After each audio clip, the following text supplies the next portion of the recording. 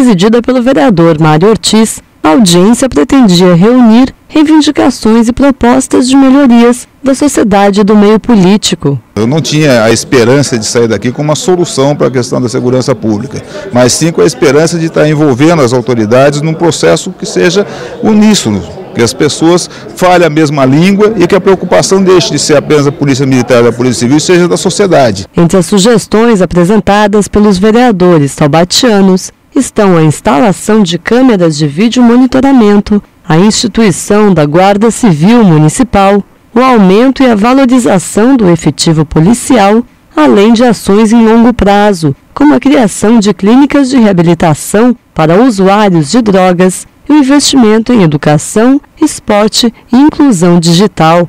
Muitas dessas iniciativas, que dependem de ações do governo estadual e municipal, ficaram sem resposta. Sobre a Guarda Civil, o diretor de segurança do município afirmou que o projeto já está em análise no jurídico da prefeitura, mas talvez não atenda às expectativas dos parlamentares. Outro aspecto questionado pela população e pelos políticos da região foi a falta de investimento estadual na segurança. Mas tanto a Polícia Civil como a Militar afirmaram terem boa infraestrutura.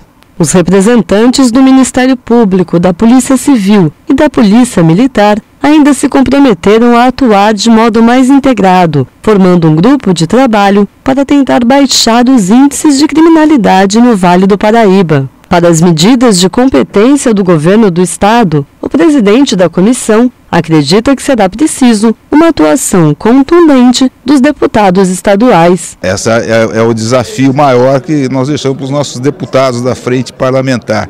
Eles foram os mais cobrados aqui na realidade, porque a interface política com o governo do Estado é feita pela Assembleia Legislativa. E nós já combinamos em público que essas propostas que exigem a intervenção dos deputados será encaminhada por escrito para eles, de modo que eles possam tomar essas providências. Nós vamos cobrar deles. Ao final, o vereador Mário Ortiz sugeriu a formação de um fórum permanente, integrado pelas autoridades presentes na audiência, a fim de continuar debatendo o assunto e cobrando os poderes públicos.